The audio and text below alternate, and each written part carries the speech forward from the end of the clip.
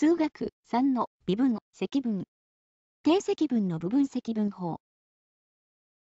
と、この二次関数の定積分の公式について、私からの提案があります。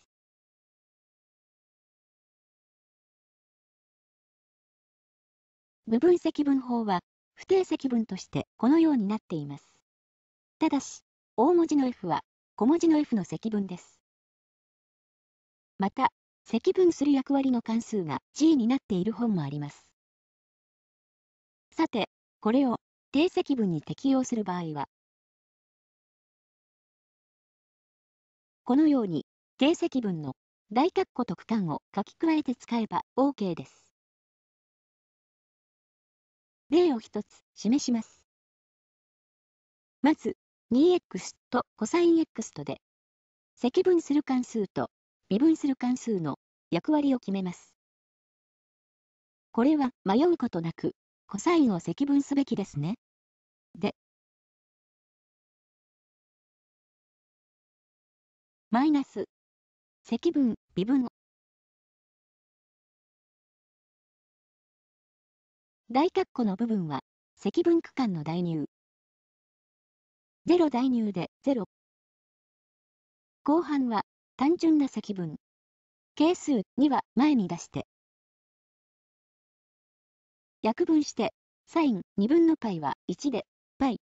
後半の代入計算は、マイナスを前に出して。イコール π マイナス2。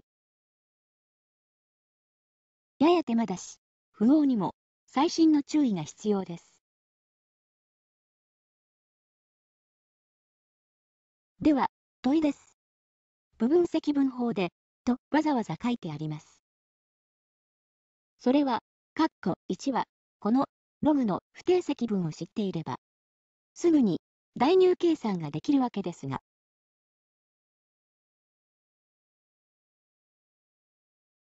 ここは部分積分の練習が目的というわけです。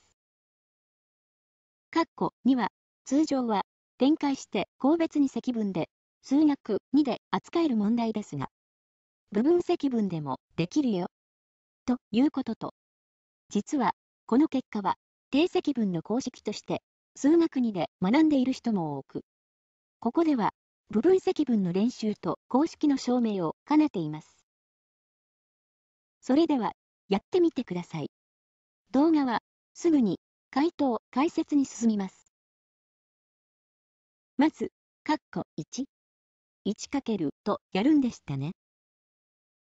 で、1を積分、ログをそのまま微分とします。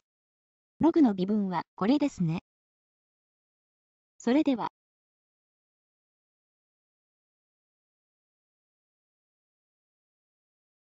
約分して1を積分。で、ちょうど1ですが、これは何を表しているのでしょうか？定積分は面積と関係あるということで、グラフで見てみると、この斜線部分の面積が1ということです。カッコ1。よろしいですか？カッコ2に行きます。これはどっちを積分しようが違いはありませんから、素直に。この私の授業の公式の通りにやりましょう。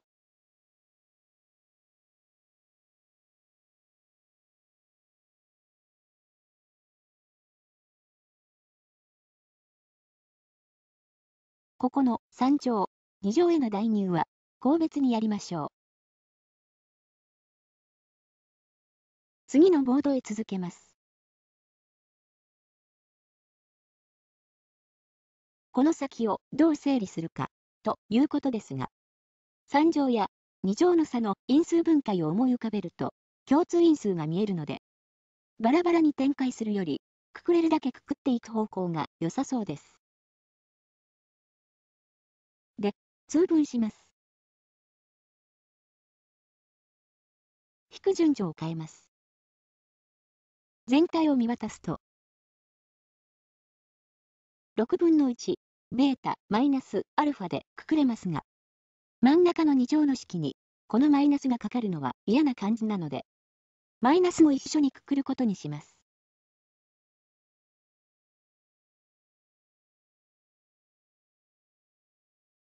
で、こうして、オープニングで見た式が出てきました。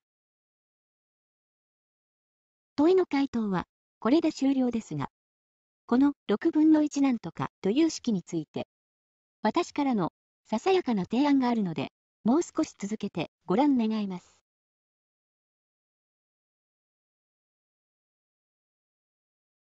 さて、この等式ですが、これを間違えて使う高校生が意外と多い。というのが、これまでの私の印象です。最も多いのが、例えばこの例のように、X に1以外の係数がついている場合のミスです。このミスのほとんどは、係数の扱いがわからず、結果的に無視する、というものです。あと、この等式は、積分する関数が因数分解されているときに使える、という捉え方をしている節がある、というものです。そこで、この機会に、そうしたミスを減らすべく、私から提案したいことがあるのです。まず、X の係数の扱いですが、この係数は、展開した時の x2 乗の係数としてまとめて扱って、はじめから二次式全体に係数 a をつけておけば、いくらかミスを減らすことができそうです。しかし、参考書などの回答を見ると、係数 a を括弧の前に無理やり持ってくるために、このような変形をして、しかも因数の中を公式と同じ引き算に直して、という手順が書いてあります。その上、係数 A がついていない等式を公式にしていますから、くくり出した係数をインテグラルの前に出すということもやっています。つまり、積分の部分が公式と同じ形だよねということを表現しているわけです。しかし、括弧の中を分数にしてでもくくるという変形は、これまでにほとんどやったことのないもので、計算の進め方において必然性を感じない流れです。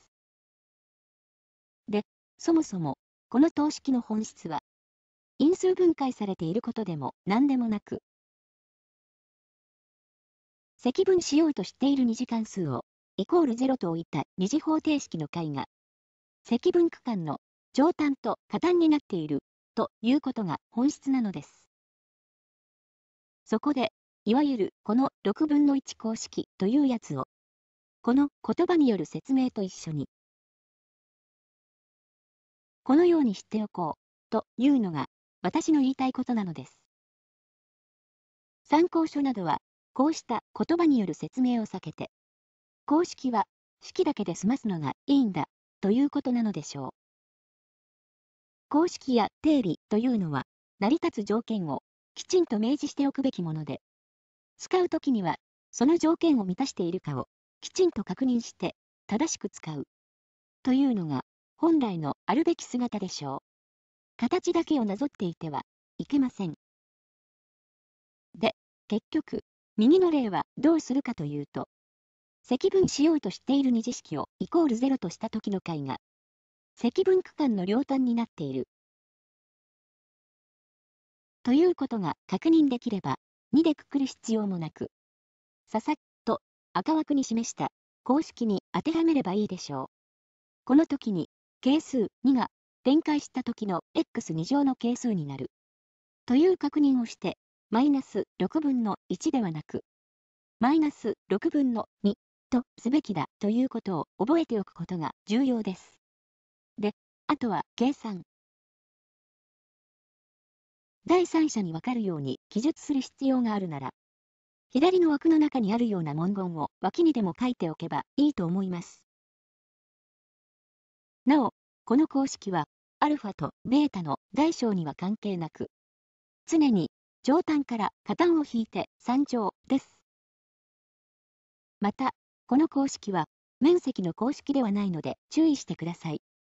紛らわしい公式集などに惑わされないようにで最後にもっと言ってしまえば、この公式は、積分の理論的な性質というものではなく、知っていれば、計算が楽になる。